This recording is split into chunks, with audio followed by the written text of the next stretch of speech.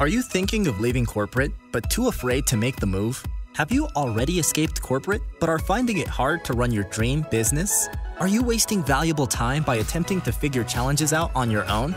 We have created a podcast for corporate escapees running their own business. This is the Corporate Escapees Podcast by Build, Live, Give. We bring you firsthand experiences of guests going through many of the struggles you face each and every day as a corporate escapee. We get real with no corporate BS. And now, over to your host, Paul Higgins.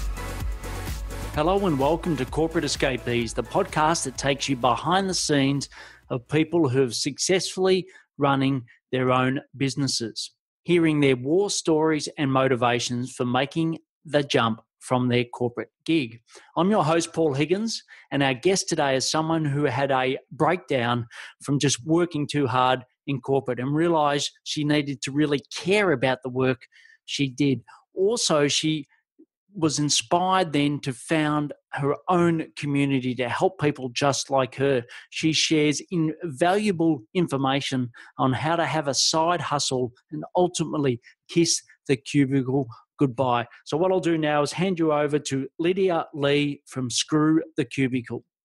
Welcome, Lydia Lee from Screw the Cubicle to the Corporate Escapees podcast brought to you by Build, Live, Give. So, it's great to have you on the show today, Lydia. But why don't we start with something that your family or friends would know about you that our listeners wouldn't?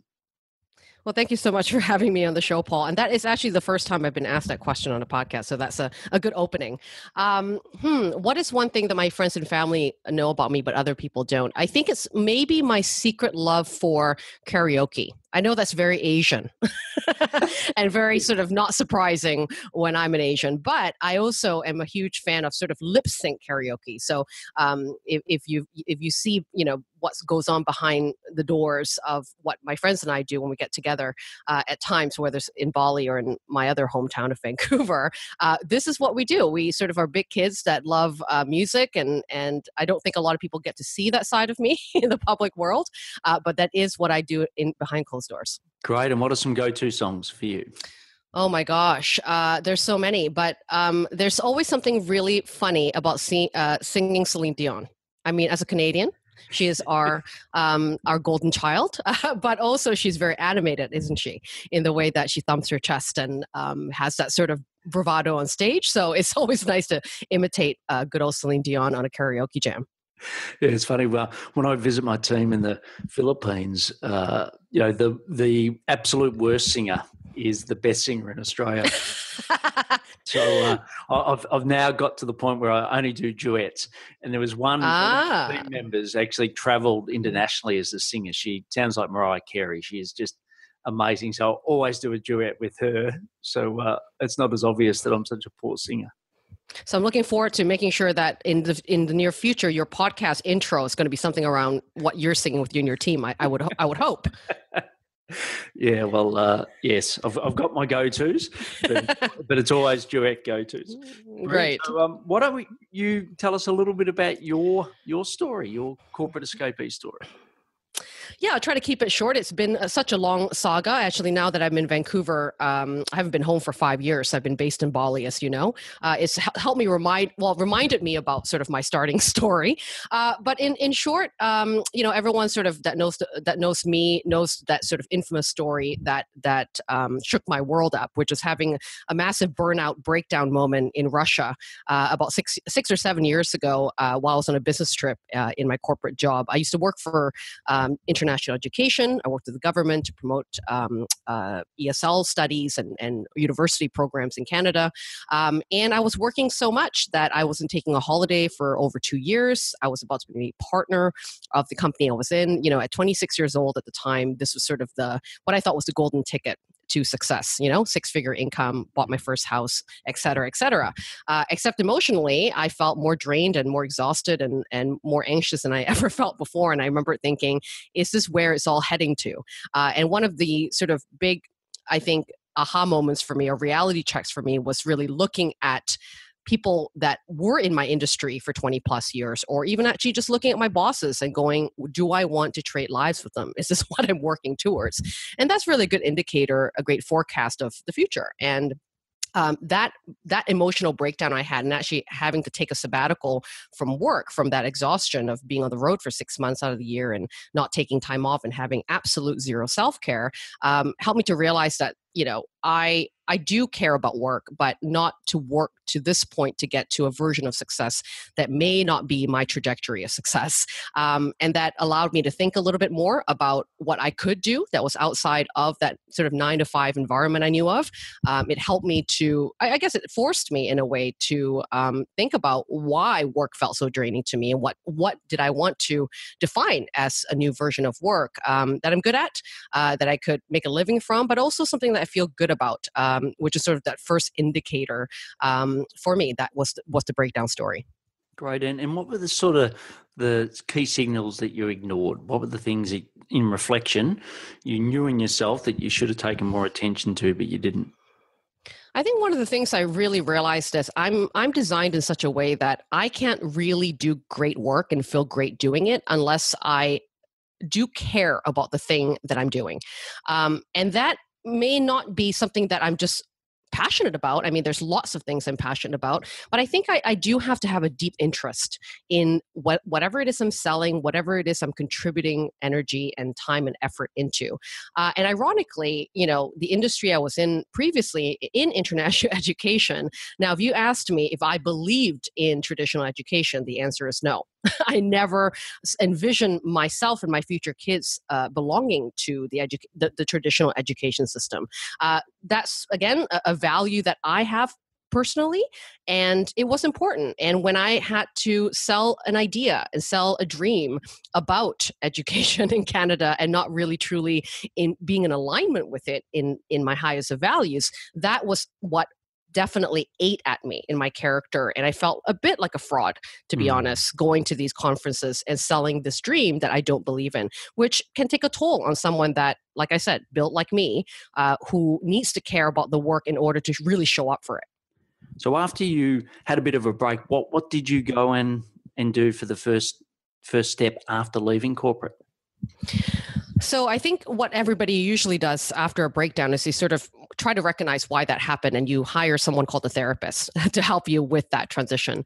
Um, and I was lucky to work with someone that um, asked me really good questions that I probably should have been asking myself for a long time and not, you know, medicate me in any way. Um, and started to really help me define what my version and definition of success was. That wasn't, you know, tied to the identity that I think my family potentially uh, put on me or the pressures of um, you know coming from uh, an immigrant family that gave up a lot and sacrificed a lot to give me an education in a place like Canada. Um, so that was the part that sort of took the longest period of time of discovering who I was. Uh, that was beyond you know things that I thought I had to do versus things that I really wanted to do, uh, and what was this contribution of purpose and work that I wanted to uh, sort of reinvent my own career in the near future. Um, I definitely didn't get to a business idea per se from seeing a therapist, but what it did sort of allow me to do was sort of get out of my own way of beliefs and you know things that I that values potentially I had conditioned myself with that weren't anymore my own. Um, and from that place i think i was much more open uh, to then get support uh, which the second second professional i hired was a business coach. Um, you know similar to what you do as well for your audience is you know helping uh, me really um, get the skill sets and the knowledge that i needed to be an entrepreneur to start small uh, as a consultant uh, and that a nine month period from when I worked with a business coach to when I actually quit my job uh, was spent um, building a side hustle, building a a, a, a, brand and a company uh, that I could run on the side that made me some income while I was still in a full time gig in order to uh, for me to feel safe to take that leap nine months later. Great. And what were the, some of your criteria in picking a coach? At the time, uh, to be honest, I was looking for someone that represented work and business and a lifestyle that I respected. So there are tons of business coaches I knew at, the time from you know being online and following particular uh, influencers online. Uh, but at the time, I I really also wanted to um, work with someone that had a uh, a digital business. There's something around location independency and um, you know belonging to an industry that sort of in the business of helping or a service based business uh, that i really looked uh, when I looked at my own business, it, it, it, those were the values that I wanted uh, my business to stand upon as well. Uh, so I did hire a French Canadian, a business coach actually, um, that I, I, loved because she sort of was blunt like me. She looked at uh, contribution the way that I did, and she was very savvy in the way that she started things um, intelligently and, and in small steps to not overwhelm me. Uh, but I really respected the way she did business. You know, it wasn't in a sort of smarmy, sleazy way of, uh, you know, sales tactics or, you know, trapping people in funnels, but actually really producing good work, you know, and I wanted to start from that really great place of doing that too. Great. And uh, what were some of the key fears you had when you first took that step? Say that one more time. Sorry, key fears. What were some of the oh, key fears. fears. that you had? I always have to still get used to the Australian, Australian accent, yeah, Paul. Yeah. oh my God, the fears. Um, you know, the fear still exists. It's just, I guess, a little less scary these days. Um, I think the number one fear I've always had um, was about money you know um, money mindset and and you know my own story about uh, my financial background wasn't good. Um, like i said you know my family instilled upon me this idea that everything is hard to to achieve uh, because it took us so much and so much and spent we spent so much money to achieve a decent life in canada. So we've never had very healthy money conversations at home. Um, so i had to really get good with that. And one of the main fears i had was um, well actually one of the limiting beliefs I had was that I had to make the same amount of salary as I used to make in corporate in to have permission to quit. Until I actually looked at what was the real numbers and after i calculated you know i don't know what the taxes are uh, Paul, in, in Australia for you know certain income brackets. But you know the truth was forty percent of my income was actually being gone to the government, ta- yes. taxed you know every month.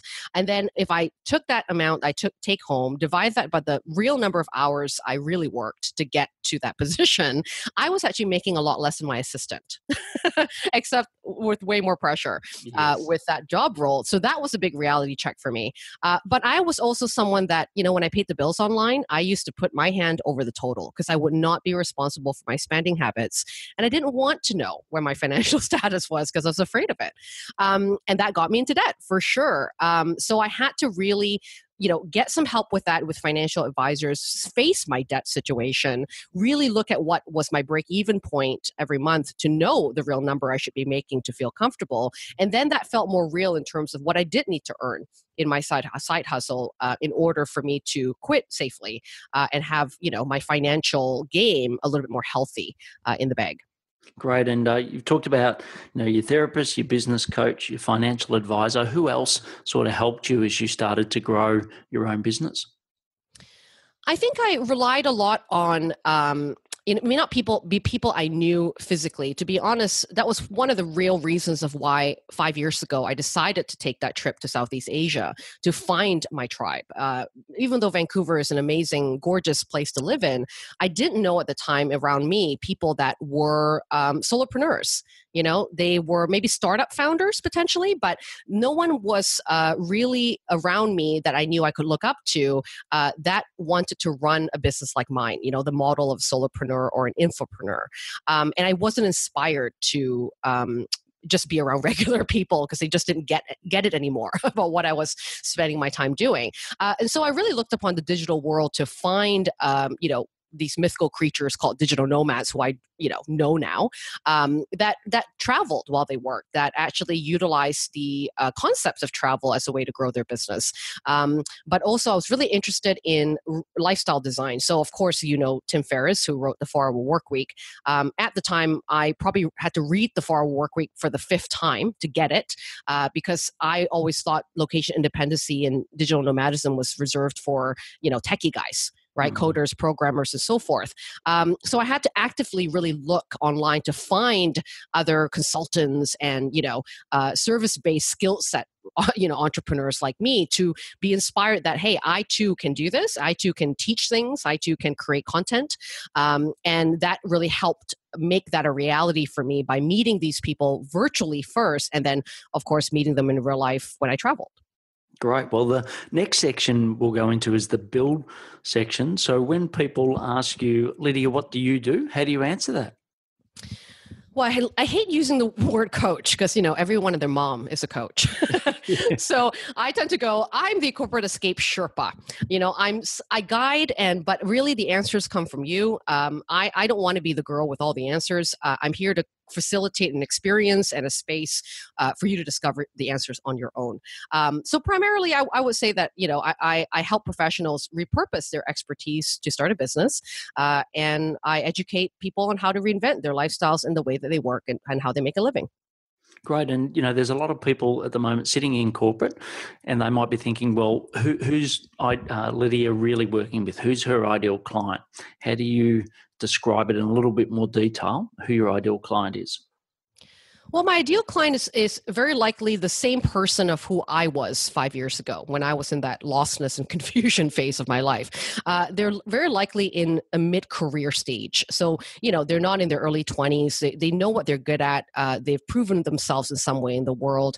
Uh, they've climbed that corporate ladder. Maybe they've climbed that ladder, but the view isn't what they're expecting you know but they've got a, tr- a proven track record of um, reaching their goals and they are hard workers and they do like to work. They're not people that um, i know it's you know uh, misleading sometimes to to read the word of or the name of my business screw the cubicle um, that it might mean oh completely i don't want to work at all but it's actually the, the, the, pure opposite. It's mm. really i work with people that want to work. They want to create work. They're not trying to escape work.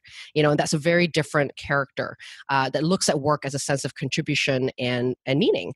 Um, and so usually i work with people that are uh, in their higher um, you know late 20s to um, late 40s um, they're in mid-career. They're, they're, they're looking to um, reinvent their work by utilizing what they already know the expertise they already come with. Uh, there's parts of work they like doing and some they don't. And they're looking for someone to help them discover a business idea, start it as a brand new entrepreneur, and uh, eradicate that overwhelm of knowing what steps to take to, to make that happen. Yeah, and and what are some of the biggest challenges that that your ideal clients face when they do leave and make that big step to leave the cubicle? I think one of the big questions that that um, sort of keeps people up at night and, and prevents them from not leaving is not knowing what role and what way of earning a living they're going to go into if they were to leave their jobs. And that's a fair question. You should know that answer before you quit. Uh, and hence why I'm a big advocate of, you know, side hustles and um, working on something while you're still full-time employed. You know, it's a safe place financially to do so. And your creativity can blossom from there rather than be in financial pressure when you start something new. Um, so I think one of the biggest hurdles that people have when they first come to me is not knowing the focus of uh, the niche of work they should be doing. Maybe they're multi passionate people, they have multiple skill sets and strengths. Um, if they're like me, their resume looks like they're for five people, you know? Um, yes. And it's hard to, you know, laser focus on what are the themes and what are, uh, what are those skill sets and strengths I do want to bring to the table, but really what cause am I contributing to and uh, what does all mean to the right for right now idea that I can pursue? You know, that's the other myth as well, Paul, is that, you know, people try to think about or wait for the perfect idea you know, to hit them over the head, and they don't make any moves uh, until this um, Gandhi moment happens, you know. But it doesn't work that way. You know, we sort of had to start somewhere, and some of us may have multiple businesses, and that's okay too. Uh, but we know we know we need to know what we are great at now, and sort of be able to um, understand what sorts of problems we can solve today with a business and start going. And that business idea may morph, it might change, it might even expand into something different, but you won't know until you sort of get started. Mm, great. And and your business model, how do how do you make revenue currently in your business? There's multiple ways I do that now, but primarily um, what what I do more is uh, more of the teaching model these days. So I started off in more one-on-one work, which um, I don't regret starting. I think one-on-one work is is excellent for really understanding your clients really deeply um, and understanding the process and actually the framework of how you coach, which I think is super important for scaling your business. So you're not starting from scratch with every client. There's a formula, there's concepts, there's foundational things that your work relies upon to get people to results. And uh, framework is great, uh, greatly discovered from one-on-one clients. Um, where Screw the Cubicle uh, right now primarily focuses on is our academy. Uh, it's called the Academy of Cubicle Crashers. It's an online school. It's an intimate school. I sort of call it a boutique school. you know, it's not hundreds of students. You know, each intake is sometimes no more than 20 to 25 people. Uh, it's very mastermind style and very intimate because uh, the questions that we do try to answer for people in this beginning stage of what business should I start? How do I develop this? is not a paint by numbers way. It requires a lot of discussion. It requires a lot of trial and error, uh, and it requires a lot of feedback. Which um, you know is we need smaller groups for that. So that's where I primarily make most of my revenue. Um, and then secondarily, um, I run retreats in Bali about once or twice a year. Um, that is so enjoyable and lovely to see each other, see people in real life, uh, and do it in the tropics. Um, and then I still continue some some of my one-on-one coaching, although that's um, tapering on off now as my focus is more is more towards the uh, growing the academy. Yeah, great. And um, and what what do people mainly say that is um, unique about what you do after they've gone through your programs? I think one of the strongest um, feedback we get around the academy and just in, in, in, parts of our framework of teaching is we create these um, experiences to allow validation and testing. So one of the things we really believe in is is your confidence grows from um, not only believing in what you do or you know saying a couple mantras to hope that you care and believe in yourself, but actually you know show showing yourself, show and tell. You know um, how you actually help people, and we really don't know the value that we can provide in our work until we start doing a version of it.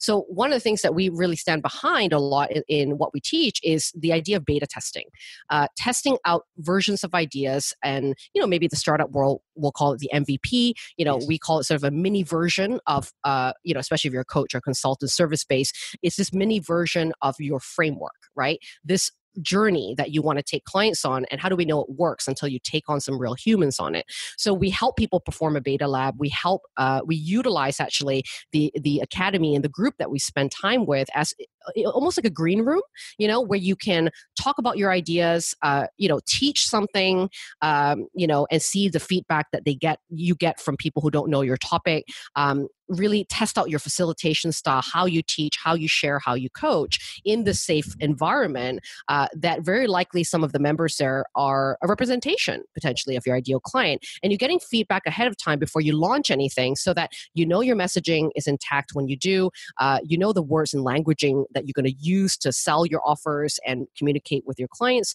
And ultimately, you feel a lot more prepared, you know, when you start charging money uh, for your services that has been run through in a test, but also been validated by other humans. Great. And uh, what's the number one source of new business for you? Um, can you get clearer on that question? Like, how, where do I find yeah, my customers? yeah. How do you find your your customers, your clients? I think primarily I'm I'm very old school. Um, when we actually did a bit of a, a you know a, research on this in the last couple years on how people find us, uh, one of our strongest version is word of mouth you know? Um, it's it's not been our funnels or our snazzy copywriting.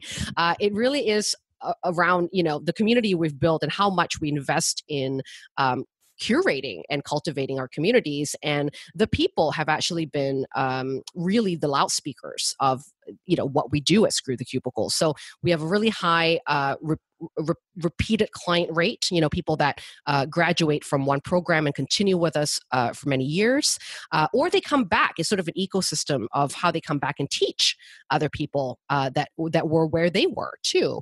Uh, and that's been really lovely to work and continue to work with our students in a different capacity in a different role. But word of mouth is very strong for us. Referrals are very strong for us. Um, and of course anytime that i'm traveling and sharing my story, you know, in podcasts like this, people sort of find out more about um, me and my mission, and and that's sort of how they come in as well. Great. And is there anything you do to cultivate referrals? Yeah, we we have real conversations with the people we work with. Um, I used to be um, very tempted, you know, to follow what digital marketers tell you, you know, a lot of the times and how to automate things. Uh, but what I really find works for me in the kind of brand that I'm trying to um, to to have and the the the flavor and ambience and ingredients i think we have in our brand uh, one of the big things for us is intimacy. And you sure as hell can't automate intimacy. And i think sometimes in service-based businesses this is what's missing for a lot of people. Uh, they're sick of being trapped in funnels. They're sick of trying to watch another three-part video series mm-hmm. without talking to another human. And there's something really beautiful about um, getting on the phone and just talking to this person. Uh, and our conversion rates whenever um, i mean i hate using that term but you know to look at it as on a statistical level um, anytime I've ever gotten on a phone with someone that's been interested in coming to a retreat or you know being a student at the academy, um, it's over ninety percent of how they tr- transition into a paid client you know and those real conversations i think are super important that some people aren't doing anymore. You know they're relying on technology and um, you know tech to do that for them.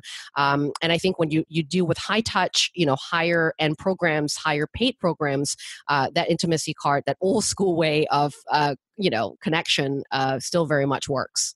Yeah and some people will say you know that may uh, reduce your growth. So you can't scale it if you're actually doing mm. more of mm. that high touch. How have you overcome that that common myth? You know, I believe there's a combination uh, that can be um, designed in the way that you recruit students, for example, or more people to your tribe. Um, where we can, where we scale our efforts is more around um, getting me on the phone with the the best leads in the sense of you know the ideal customers that are coming for the right reasons, right? So this is where potentially funnels and copywriting and you know the messages that you share uh, in the technology pieces of you know whether it's email marketing or your home pages and so forth, um, that can be very distinct to sort of invite and welcome the right people and very like, likely shunned away, shun away the wrong people too right? Being very distinct mm. about that. Um, and, you know, I have an OBM that I work with, which is an online business manager. Uh, she's amazing. You know, she's the opposite of me, where she's all about systems and, you know, how things run at the back end, you know, and I'm much more of the people person. So I don't touch that part anymore. That part is outsourced to her, who is someone a lot more uh, savvy technology wise to do, deal with that.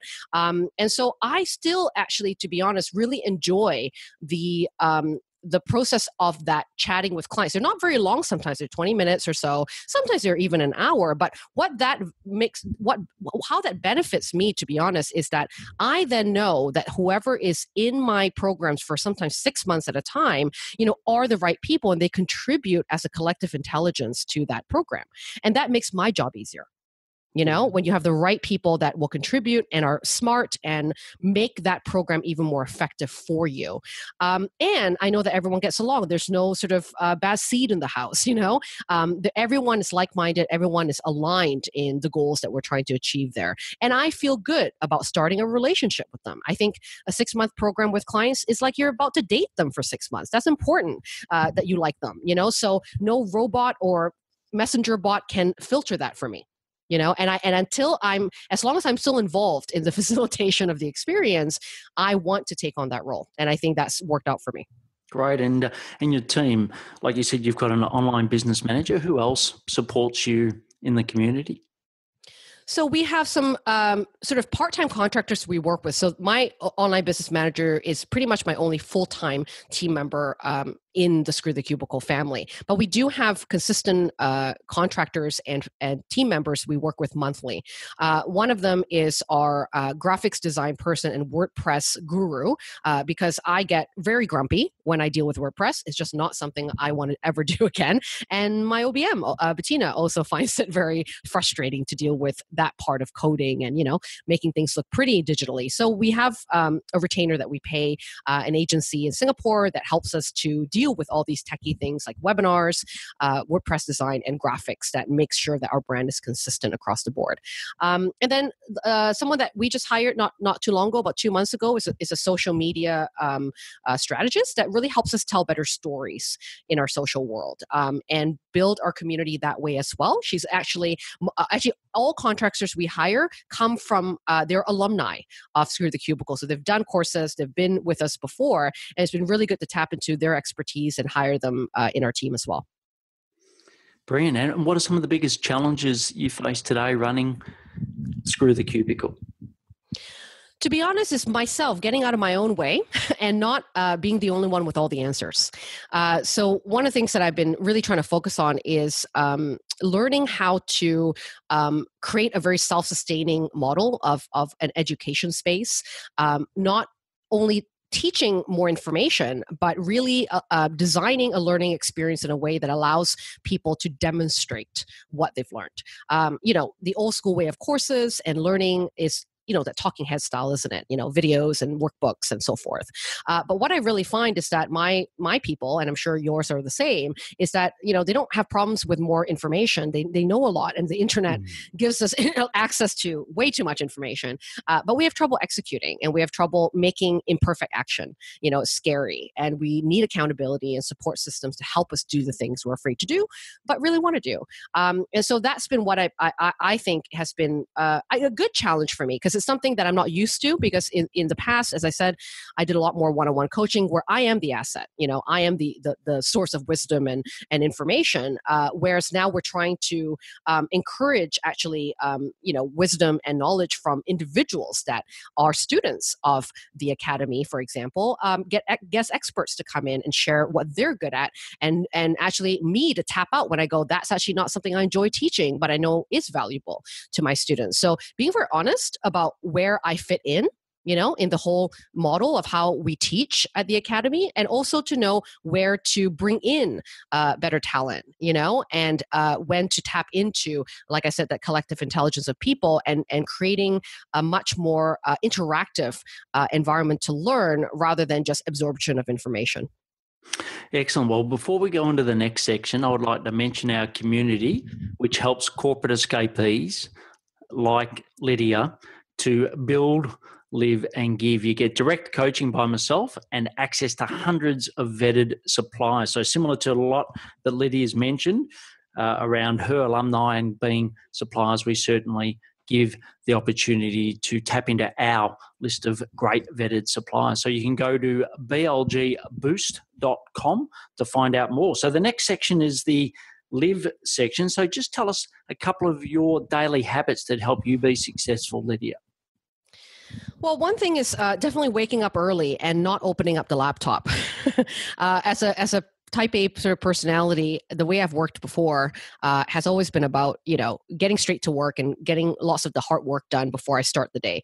Uh, what I've really found is you know when I get my state of mind a bit clearer and um, wake up in a way that I'm not just opening that laptop right away, but being very mindful about where I choose to spend my time and energy for the day and setting that attention of where some of my big focuses should be um, helps me to really not do all the things, but really, really eat the frogs, right? That need to be eaten right away. And before I start to um, perhaps be bombarded by other people's agenda, you know, in my inbox.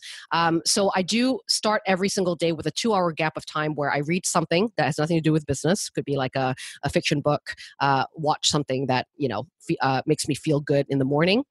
Um, do some stretching, do something for me, uh, and then have a think about you know what do I want this day to look like, and what is what are some of the active projects that I want to work on that specifically is for me, and how can I start doing uh, making some moves and you know cracking a little bit uh, in small action steps to start the day with before I start to do you know client work or curriculum planning or anything else that's sort of um, more beneficial for other people externally.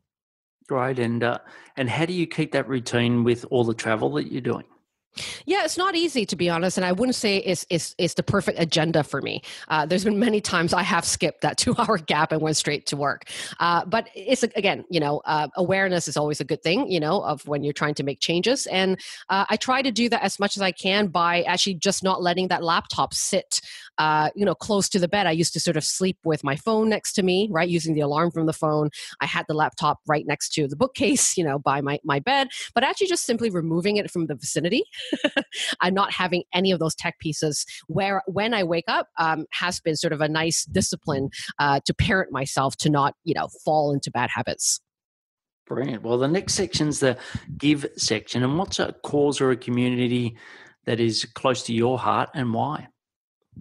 Yeah, this is not something I sort of have shared publicly a lot of, but it's something that uh, I definitely have a place in my heart for. And I think um, what I really enjoy, um, who I really enjoy helping, and specifically very personal to my own background, is uh, really helping you know women of color and also people that are new immigrants of a new country uh, to really um, you know go forth and, and and invent the way that they want to live and the way that they integrate into um, you know their work lives in in a new place. Uh, and particularly, I guess all those stories and causes that I believe in come very closely you know or they link very closely to my own story. Uh, and i think also more in, in the world that we live in and the issues that we experience today, uh, there's been so much more of a call for uh, people from different cultures and backgrounds and uh, value systems to come out uh, and and and actually shape, you know, the way that we look at the world and to help differently, where uh, things don't have to be done uh, just because someone rich and you know Western can do it, right? There's so many so, such great talent all around the world, um, but not always the resources are available to those people. Um, so that's been something that I've been trying to do more of by partnering with people. You know, when I travel to Portugal, for example, I'll partner with a local person there that deal that works with um, local Portuguese women that want to start a business, for example, but can't afford um, you know Western business coaching all the time, and that you know brings me a lot of joy to contribute back. Um, not you know not everything has to be sort of big bucks moneymaker things. Uh, a lot of it is is also about um, helping and supporting uh, these sorts of communities that may not be able to afford things like the academy or my coaching but uh, can definitely come to a workshop or you know attend a meetup that um, i do for them Excellent. The last section is the take action section where I'm just going to ask you some questions and just get some rapid fire responses. So, the first one is What are your top three productivity tips? Hmm, top three. Um, one thing that I, I do a lot of that works brilliantly, uh, maybe because I've got such a, a, a you know an attention span that sort of goes everywhere and, and easily distracted, uh, has been the concept of time blocking. Uh, so I I get very overwhelmed when I, I have to do a project and there's a lot of steps and everything just feels like it'll never end. mm-hmm.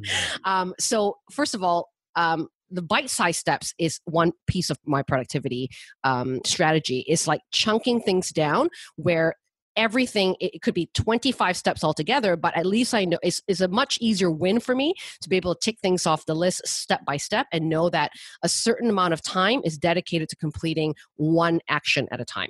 And incrementally that's done wonders for me. Um, second thing is the time blocking i mentioned you know having sprints you know i, I usually do a total, total of about a 25 minute sprint of doing one thing at a time without anything else open uh, and then having a five to 10 minute break and then starting that sprint over again. And that's also allowed me to really um, do things much faster and complete things uh, in one shot uh, and one go instead of um, doing 25 things at once. You know, that doesn't work for my sort of brain. Um, and then the last tip I guess I could um, give is uh, sort of something I mentioned previously about waking up early uh, is, you know, the whole concept of eating the frog first, right? Eating, doing the thing that you sort of resist doing or you know are challenged to do but is super important uh, for a goal that you're hoping to meet or an achievement that you're looking forward to achieving. Uh, and it's usually the thing that's been looming in your brain uh, that keeps you up at night uh, that seems complicated but it just takes one move uh, and it's kind of like pulling a band-aid but you do that first before you start the day um, so that if your whole day goes to heck you can still know that you've completed that one thing that was super important to you great and what are some favorite apps or software that you couldn't live without? Well, we run uh, a lot of what we do in our project management of uh, our business at Screw the Cubicle via Asana. Um, it's our sort of holy grail of making sure we are on time for things but also we use it as a bit of a checklist for all the programs that we run retreats that we do so that you know there's an sop and a step-by-step process for everything and uh, we don't have to re-begin again every time we launch something new that is something we've launched before. Uh, so asana has been an excellent tool for us to use. Um, in terms of distractions and just personal accountability um, one of the, my favorite tools to share is the um, plugin for Chrome uh, called Kill Newsfeed. I get very distracted by social media. I get also emotionally affected by social media, especially um, with all the Trump news going on out there these mm-hmm. days. Um, and Kill Newsfeed has been amazing. That I just see a blank new, a newsfeed. I have no idea what's going on in the world um, unless I specifically go and look for it. Um, I get notifications. I still get messages, but I don't have this endless scrolling effect for when I'm bored. You know that usually is what I would do by default when I get on the laptop and try to distract myself. So Kill Newsfeed is another um, great plugin to use if you're easily distracted. Brilliant. And uh, what are some podcasts that you recommend people listen to? Well, I'm not sure if this is business related, but um, I do love podcasts uh, that, you know, I, I, have a very huge um, sort of obsession and, and, and interest in um, sort of researching human behavior in relationships uh, because i think relationships are important in business not just uh, you know romantic relationships but uh, you're you know is one of the the biggest things we need in our lives is relationships but also one of the least educated uh, topics we have as humans. Uh, we don't teach that in school as much, and we sort of get into the world and hope that we get along with people. Um, so, one of the influencers that I really loved following um, is Esther Perel. Do you know her? Uh, no, I don't. Uh, she's a psychotherapist, actually, uh, but she sort of specializes in uh, relationships of romantic kinds. But she also, you know, specializes in um, uh, affairs and why people transgress, which is really interesting about human behavior. Uh, and one of her podcasts that I really love listening to is called "Where Do We Begin." Which is such a great title for um, being a fly on the wall of her uh, ther- a therapist session on all sorts of couples around the world that um, have issues around their marriages or um, sex changes or whatever. You know, it, it could be topics you think you don't relate to, but I guarantee you, every episode you'll see yourself in each. Um, you know, each each part of the couple. Um, and it's taught me a lot about relationships in general, not just again about love relationships. And um, that's uh, she's someone to definitely follow and um, a huge voice, I think, in how to build build healthier relationships and less codependent relationships in the world. Brilliant. And what's some parting advice that you've got for the corporate escapees listening? Well, God, there's so much. Uh, but I guess I, uh, you know, the thing that comes to mind right now, which is, you know, I think one of the biggest struggles a lot of corporate escapees, uh, you know, have as an obstacle, and we sort of touched upon that in this podcast, is, um, you know, don't look externally for the business you need to start because I think that's one of the um, you know misconceptions that people have when they first get started sort of what i call business pornography you know? They go out there and they start to just see what everyone else is doing you know what other people are making money on and how can you conform to that brand or be like this person uh, and it's great to be inspired by other people but very ultimately the right business for you to start and the right contribution that you should be making in your work you know the answers already lie within you and it's actually embedded in a lot of the history and the stories that you already come with in your life experience. Um, your business ideas may not be anything you've been paid to do, but something you've solved for yourself. So, whatever it is, um, it's your experience and your story that is very likely um, where you should be looking at, where you should be sort of taking inventory off or being a detective on, you know, to explore that rather than, you know, what's the next big thing that other people are doing to make an income and how can I jump on board on that? Uh, that that I think is is sort of the the the worst mistake that people can make when discovering an idea. Excellent. Well, uh, if you're listening, if you're in corporate at the moment and you're thinking about how should I uh, make the brave leap and maybe have a side hustle like Lydia's spoken about, Lydia's kindly going to give a couple of fantastic courses for you to go and look. So, uh, what we'll do is we'll have the links in the show notes. But if you go uh, screwthecubicle.com, there's more information that you'll find out about Lydia. But I'll put both of the courses. One is Create Dream Business is the first, and then there's also another fantastic video series that uh, Lydia's got. And uh, you know, if you look at our corporate escapee audience, you know, there's lots of people that are in corporate looking to make the leap. Where I think Lydia's material and education is uh, perfect for. Also, people that have just started, so you've made the leap and you're thinking, what should I do next?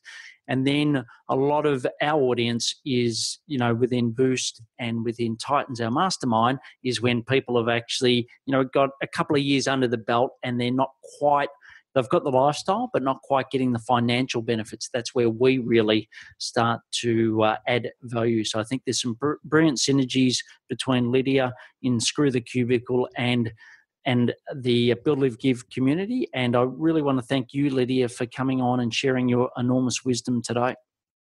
Thank you for having me. What a I, I could have gone on with this conversation for such a lot longer, and I'm so glad that we do have synergy. You know, we talked about uh, we talked together actually a few months ago, and I'm so glad to hear that there's, um, you know, I, I do a stage sort of before you, and you know, you really help people grow that business and be sustainable in it. And I think um, I'm looking forward to how we can support each other's work and missions because they're very similar uh, to what we're trying to do uh, in in the world right now.